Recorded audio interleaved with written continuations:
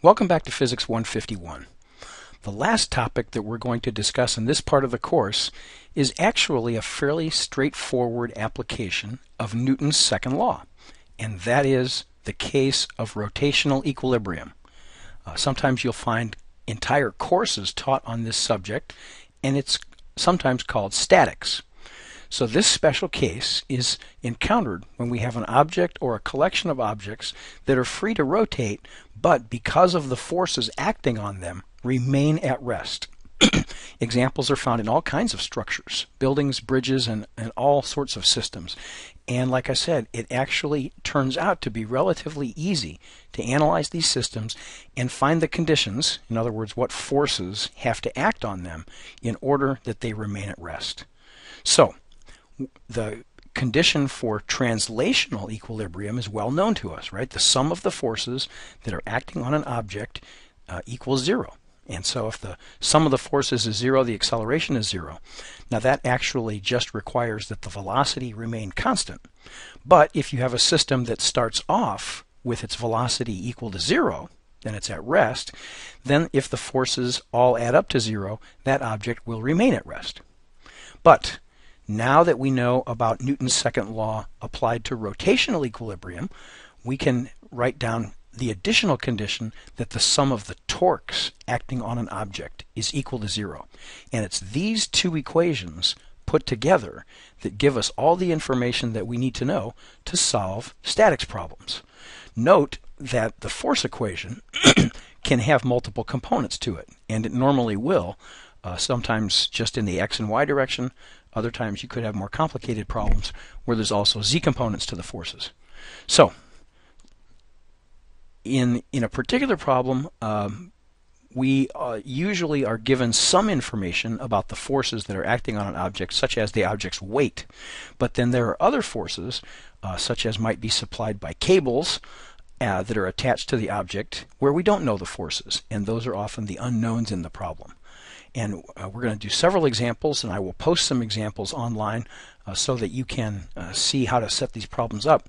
But it's particularly important to remember in these problems that you are free to choose the axis of rotation about which you will calculate the torques wherever you like. Uh, you'll get the same answer no matter where you choose to set the axis of rotation. But some choices will make the algebra much easier than others. So pick the one that makes life the easiest. And often that will be a point on the object where several forces act because we know that if a force is acting along a direction that passes through the rotation axis, then that force provides a torque that's equal to zero. So here's an example, a very typical example that you'll see in homework problems.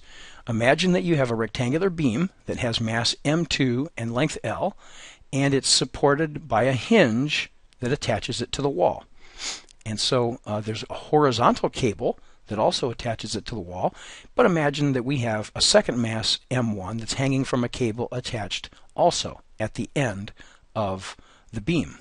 So what we want to do is find the tension in each of the two cables and also the force that's supplied at the hinge.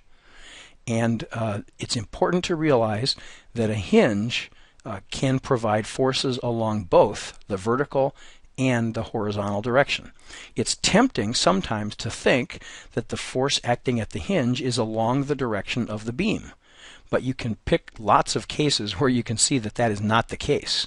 So when you draw in the force diagram, do not draw the hinge force as if it's acting along the beam because we just don't know that.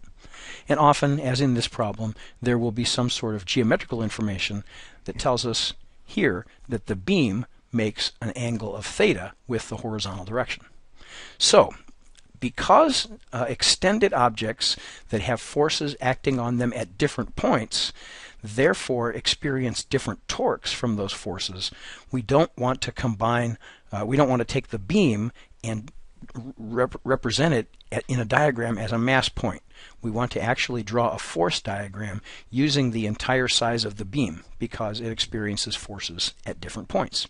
So one of the forces we know, of course, is the weight, the gravitational force that acts from the center of mass directly downward towards the Earth. We also can see that there's a force in the vertical cable, T1, and likewise a horizontal force acting along the horizontal cable, T2.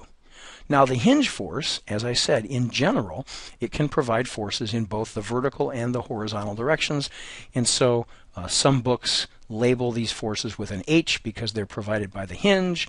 Others use different symbols, but I will just call them Fx and Fy. And so these are two of the unknowns.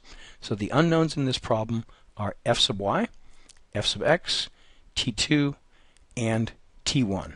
And using the conditions for translational and rotational equilibrium, we should be able to solve for all these forces. So I will finish this problem in class, and you'll have several other problems just like this to use as practice.